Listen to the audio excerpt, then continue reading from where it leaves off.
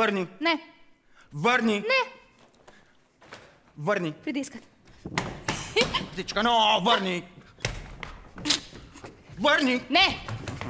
Върни. Върни. Върни, върни. Не, не, не, не, не, не, не.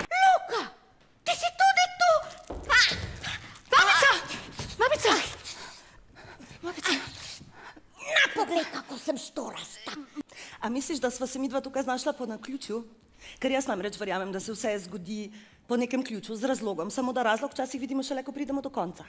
Happy end ni vedno za vse happy. Ne bo več važno, kaj je bilo, kaj je ali kar bi moralo biti. Od zdaj naprej bo svet na tvoji dlani. Dlan je kot senzor. Samo še korak.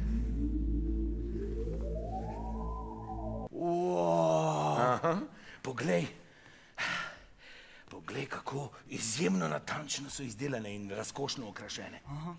Puške izdelane v borovljah so vredne od 20 tisoč pa do kar 400 tisoč evrov. 400 čukov. Kaj pomeni, če ti nekdo reče, pazi se volka? ja, da se pazi volka. Ampak kakšnega volka? Se ne spomniš, kaj pravi moja babi? Kaj? Po zimi, ko je čas mrtve narave, so noči zelo dolge. V takih nočeh Je okrog nas vse polno neznanih naravnih sil, ki skušajo na glavo obrniti naše življenja. to je divji in požrešni lov, ki se odvija v volčjih nočeh. Au! Pustite nam pravljice, da ženemo noč. Prepusti se zgodbi, se zgodbi je moč.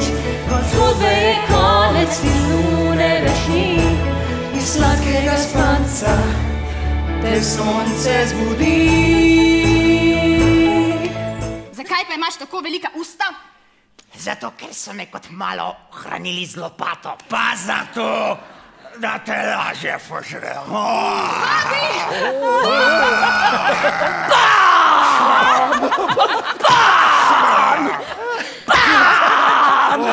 Luka, Luka, padel si v razpoko, temno in globoko, če hočeš iz nje daj znak in primi me za roko. Torej, vsak čas bo prišel naš cenjeni gost. Sprejeti ga moramo nad vse veličastno. Prinaša nam namreč edinstveno darilo, izjemno dragoceno lovsko puško. Mojega očeta si zvabila v past. Vsak čas bo tukaj. Eni delamo vse za denar, drugi delate vse za ljubezen. Po, po, po, po. Obljubila si, da nas bodo vsi občudovali. O, izkoristila si nas, da bi prišla do dragocene po... puške.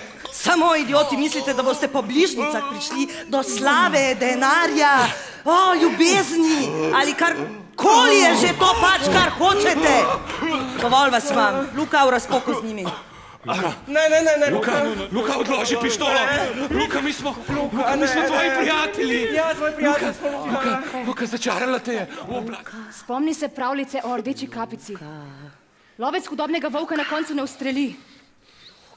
Če hočeš premagati temo, moraš samo prižgati luč.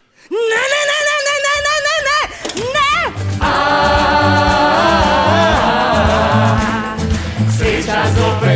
Dviga se visoko.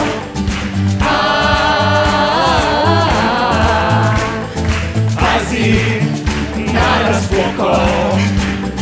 Leva, desna, leva, desna, leva. Mi smo junaki jutrišnjega dneva. Desna, leva, desna, leva, desna. Odhaja zima, glej, prihaja